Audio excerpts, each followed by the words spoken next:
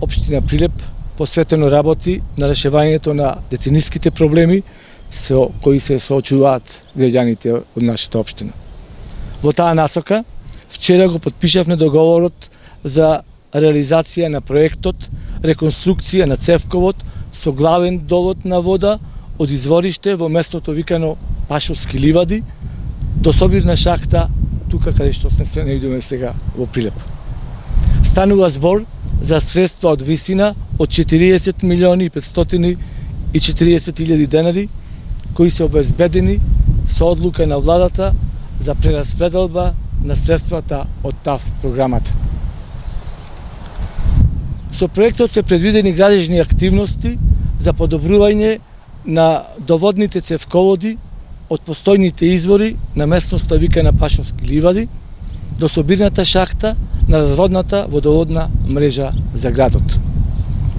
Реконструкцијата предвидува ископ на нова траса со должина од 4 км и поставување на нови лиено-железни водоводни цевки со профил од 300 мм и притисок од 10 бари, заедно со целата потребна придружна хидротехничка опрема.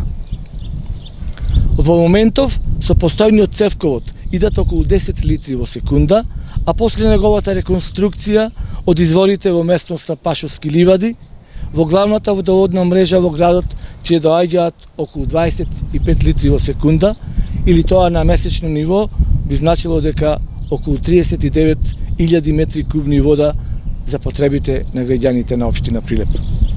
Изградбата на овој цевковод ќе трае од 4 до 6 месеци. Со подпишувањето на договорот се потврдува поддршката која во изминатиот период од 3,5 години во континуитет ни ја дава владата на Република Северна Македонија. Обезбедувањето на нови количини чиста и здрава вода за пиење е наш влог во зачувувањето на здравието на граѓаните и подобрувањето на условите за живот во нашата општина. Многу значаен овој проект за нас. На вистина капитален проект е. Многу работевме со општината околу проектирањето, аплицирањето и целокупната документација за да ги добиеме овие средства од ТАВ програмата практично од владата на Република Северна Македонија.